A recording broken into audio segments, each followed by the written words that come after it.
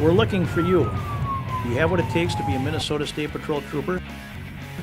Because it's more than a uniform, it's a way of life. The State Patrol will be accepting applications from post and non-post certified applicants. Please search warrant! No prior law enforcement experience necessary. Get out here where I can see you. Online applications open February 29th. For more information, go to mntrooper.com.